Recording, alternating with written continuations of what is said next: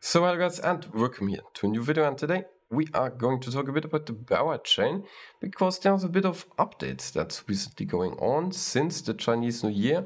There's a new NFT that you actually can mint which could qualify you for the upcoming airdrop of their token. And if that sounds interesting, well I suggest you should leave a like, comment and subscribe because that helps out the channel quite a lot and without further ado, let's actually get started.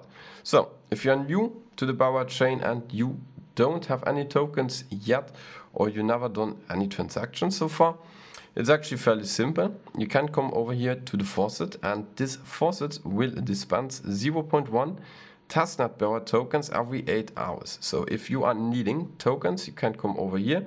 You simply paste your address and every 8 hours you can claim a few tokens.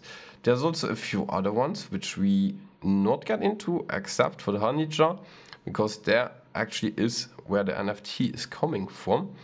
And if you then get your tokens to actually be able to swap and do something over on the network because we are needing actually honey token to do so. And if you want to get some honey token, you can come over here and then you simply swap some of your Bera tokens into honey.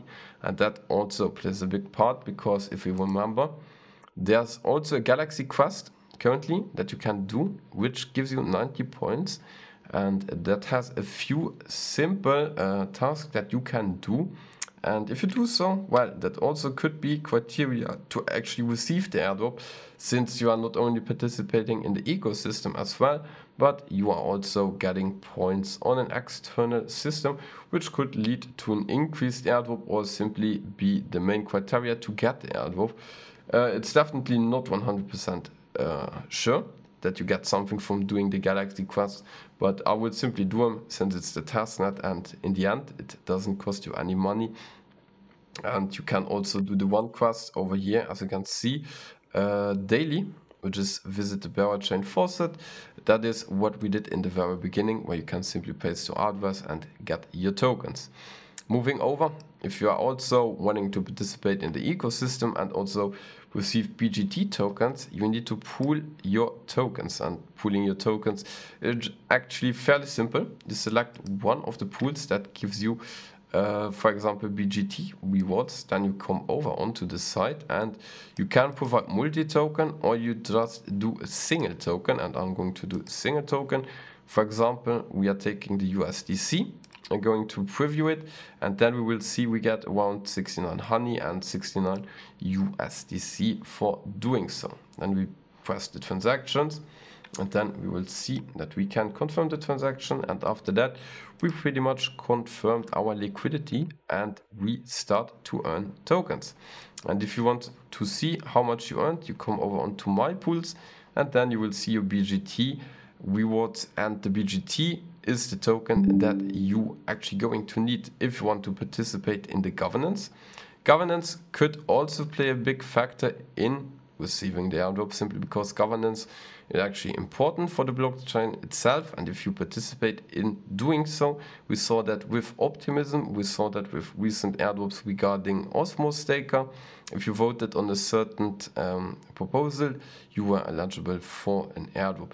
And we could definitely see the same regarding the testnet. Obviously the more you just do on the testnet in general the better it is for yourself to simply get the airdrop if there will be an airdrop regarding the testnet because obviously they are saying there will be no airdrop but most protocols are simply saying that because else people would just come over create 20 30 wallets and farm since they know okay we get rewarded. And that is why most protocols are telling their users that there actually is no airdrop and that is not um, because there will be none simply to get people away from it. And that also creates a bit more value regarding the airdrop because if everyone gets an airdrop, the value of the airdrop itself is not that big as if only a certain amount of people would receive it.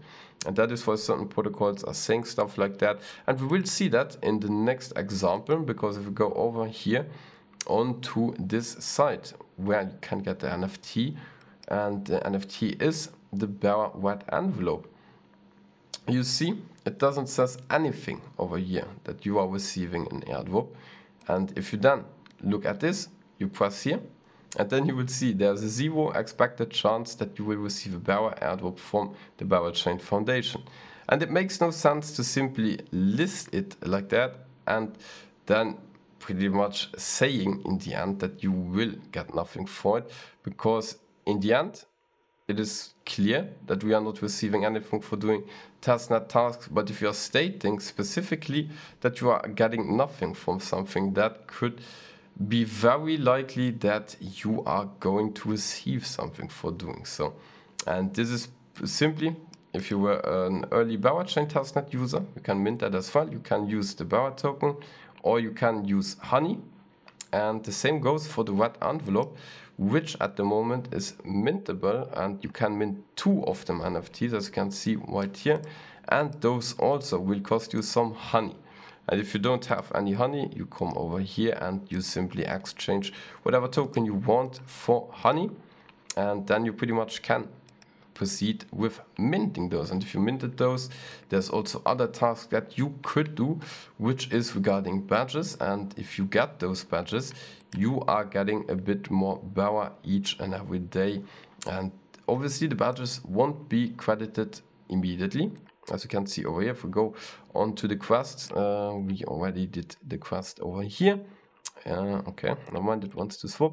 And they will be awarded every Friday. So you don't get a badge until the next Friday if you do it right now. So that's why you should do it as soon as possible, obviously. And then we also have other protocols which are Bend, for example, uh, which is a bit like Aave, where you can deposit your tokens and then take out a loan. And if you take out the loan, you are also earning BGT, which are the token that they are using in the governance. So in the end, if you want to farm a specific token, if you want to farm, for example, the governance token, the best way obviously to do it is by providing liquidity and also taking out the loan over on the protocol over here. And you can see you can deposit Bitcoin, Ethereum, and if I'm not completely mistaken, also Honey itself and for that you are eligible to borrow up for example 37 bucks right there. And if you do so well then you are earning BGT obviously there's a loan uh, that you need to pay back but since it's a testnet I honestly don't think it is playing a big role regarding uh, yeah what you are doing over here. The same goes again for um, Berps and Berps is pretty much just like an exchange where you can use leverage and do trades on. They have 100x leverage. Obviously, I would never recommend using 100x even on the testnet, simply because it's not good. But there you can do trades regarding Ethereum and I think other marketplaces as well already, such as TIA, Atom and um, Bitcoin. And that pretty much sums it up currently for the Berachain. Uh, there's a bit more to it uh, regarding NFTs, uh, like test NFTs that you can mint yourself and so on.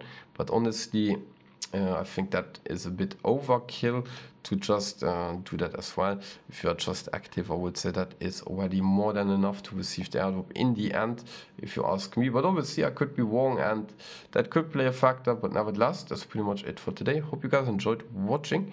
And if so, make sure to leave a like, comment, and subscribe. And until next time, goodbye.